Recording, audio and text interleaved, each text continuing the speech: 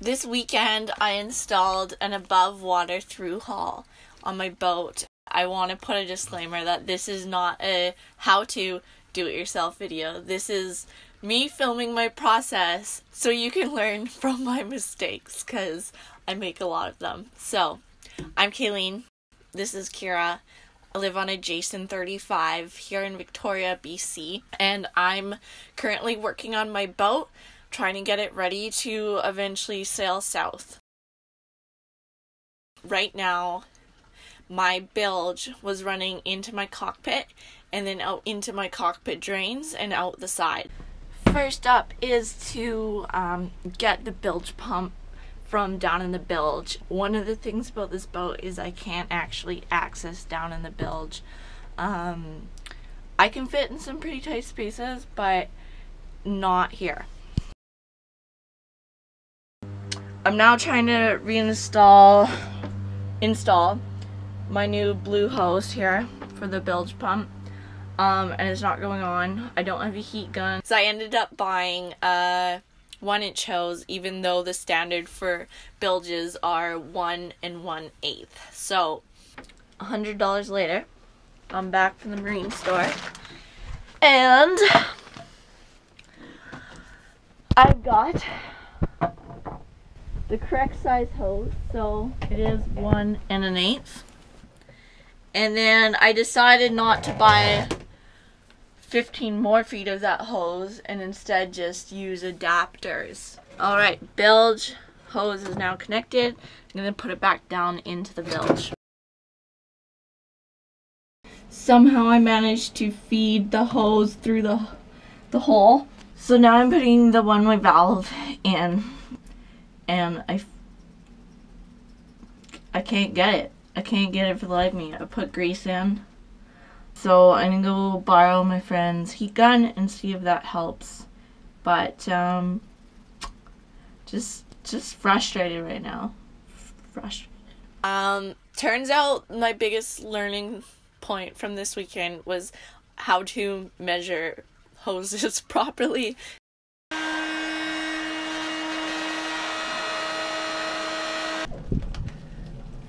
Come on. Yes.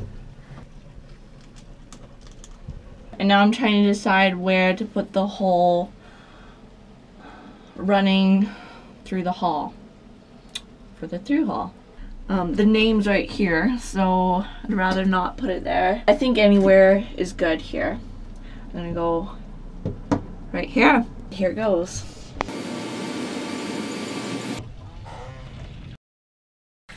Apparently I need to work on my measuring skills because um, the through hull isn't quite as loose in the hole as I'd like it to be. I really have to jam it in there, um, which means I won't be able to get the silicone all around it quite as much as I'd like. Here on Sunday, the next day, uh, to finish the job now that the Sikaflex is set. So I'm going to uh, heat up this hose and install it. Oh, shoot, I forgot the wrench. Okay, I'm back. So, just gonna tighten this up now that the Sikaflex is set. That doesn't sound good.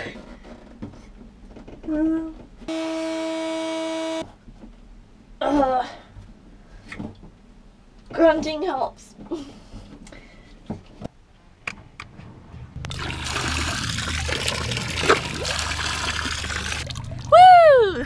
Yay! We did it! Basically, what I did was um, take apart my old bilge system and then put in new hose. And I know it's boring. Um, I put in new hose as well as um, new one way valves because the bilge hose didn't have any one way valves. I chose nylon because it's above water through hull, so not as much stress on it. Um, most of my boat is all bronze through hulls, um, but this one I ended up putting well above the the water line.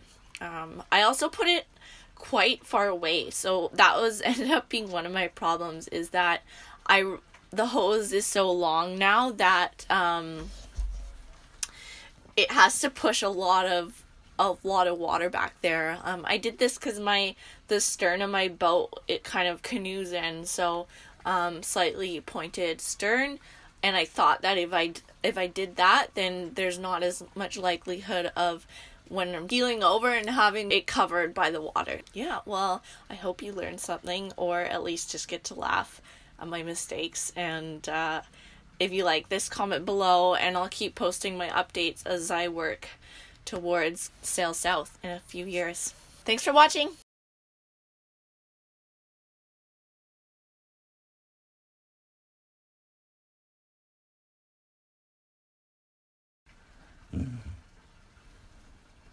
All right.